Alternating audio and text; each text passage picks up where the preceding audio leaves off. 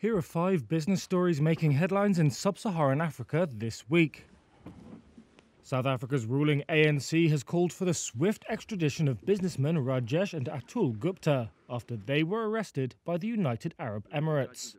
The Gupta brothers are accused of using their connections to former South African President Jacob Zuma to win contracts, siphon off state funds, and influence cabinet appointments. Zuma and the Guptas have denied any wrongdoing. The World Bank has signed two financing agreements worth $900 million with Democratic Republic of Congo to boost female entrepreneurship and access to water and electricity. The bank said in a statement on Wednesday that development projects would focus on the central west Kasai province and eastern regions. Tanzania's central bank has said it will, for the first time, allow residents of East African and Southern African trade blocs to invest in its treasury bonds and bills.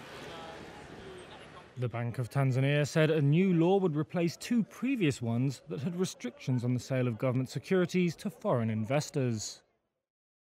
Operations will stop permanently at South Africa's oldest private airline, Comair, after its bankruptcy protection lawyers applied to liquidate the company. The 75 year old carrier had failed to secure funding, having been severely hit by travel restrictions in the global health crisis.